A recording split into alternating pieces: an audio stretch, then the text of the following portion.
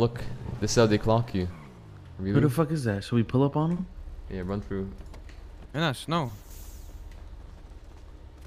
Oh, Damn, bro, you we catching a any bozos bozo alert, eh? speeding?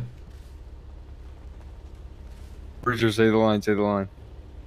What's the, what's the line? This fucking guy. eh? This fucking guy. Are you sitting clocking people? Should we kick him out of his car? Yeah, kick him out. Yeah, yeah, yeah.